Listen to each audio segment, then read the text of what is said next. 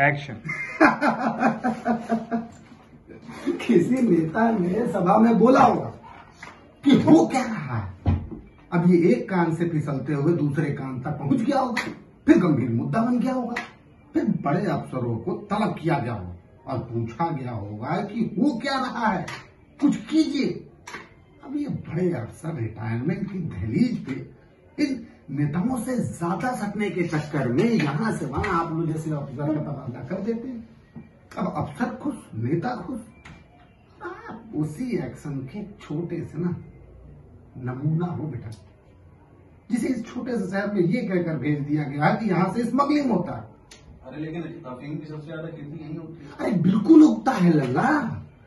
लेकिन ये सब सरकारी माल है। देश की सरकार की इजाज़त से उगता है। बात को समझो यार। सरकार जिस चीज़ का आदेश देती है, तुम्हें उसी के खिलाफ जाने का ऑर्डर मिला है। एक बार समझाने से अगर समझ गए होते ना, कि देश की सरकार के खिलाफ जाने का नतीजा क्या होता है तो आज ये हालत ना होती तुम्हारी। अरे यार तुम समझ नहीं रहे हो।